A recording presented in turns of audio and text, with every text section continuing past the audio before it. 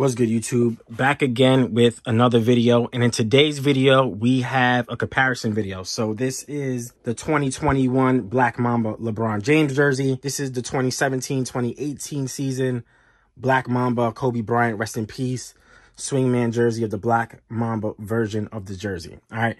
So not much differences. They're the same jersey and we out. All right. Nah.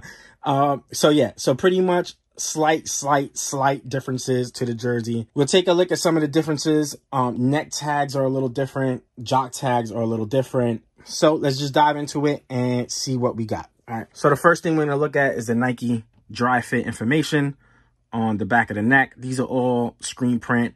And again, you'll have the same screen print on the Kobe jersey, just different locations of where the Dri-FIT is, different font. So this one has a huge Nike sign with Dri-FIT underneath and you get the recycling symbol on the bottom. And then this one is just a little different, all right? Both size 56. Nike swooshes are the same. I will say the graphics on the newer LeBron jersey seems to be a little thicker. I don't know exactly if it is or not. If it is, it's just probably very slightly.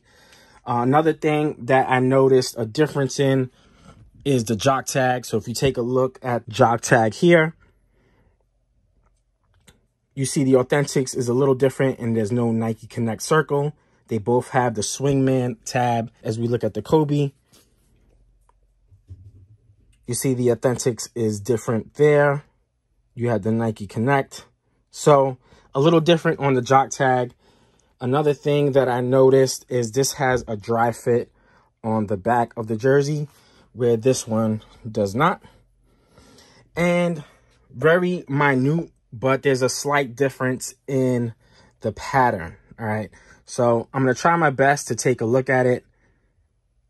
It seems like the LeBron one is a little bit more pronounced and the pattern itself is a little different. But other than that, pretty much the same exact jersey, man. So unfortunately, they waited so long to give us this jersey. As you can see, the detail of the Black Mamba scaling and same goes here. It seems like the design is just a little bit more pronounced on the LeBron.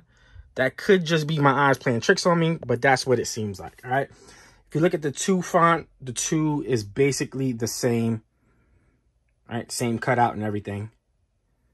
Both well done, both clean jerseys, both iconic players.